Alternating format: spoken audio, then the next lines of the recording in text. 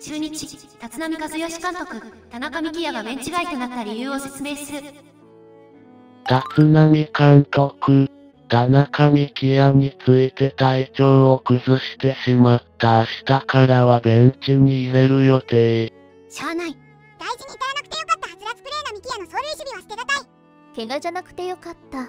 無理させんなよ。フルで出られる体力はないから、慎重に扱え。ていうか二遊間のサブが仮捨てだけなのはやばいでしょ。石垣か周平あげようよ。じゃあ明日もスタメンはないのね明日から立浪さんはベンチ外でお願いします。福永も去年絶好調の時にベンチ外あったな体調はしょうがないけどやっぱりミキヤの守備じゃないと我慢できない体になってる。接戦になっても無駄に勝ちパ使って負けるのが立浪だから昨日のこともあるし今日はこの点差でよかったかもよなお斎藤を無駄遣いする模様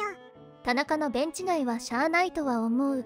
別にそこに対して文句はないんよ。じゃあなんで石川板山を入れ替えたって話だよ想像通りではあるが、ただ石川を使う気がないだけか。ミキヤの抜けた穴をひしひしと感じた連戦やったねやすは気を取り直して頑張ってくれ。中田は二分調整の方がええぞ去年のルーソラ並みに打てないこれで石川やビシエドの出場機会奪ってるのは本当あかんわ体調はしょうがないしベンチ外もまあわかるけど石川抹消してまで板山入れるほどじゃないだろ。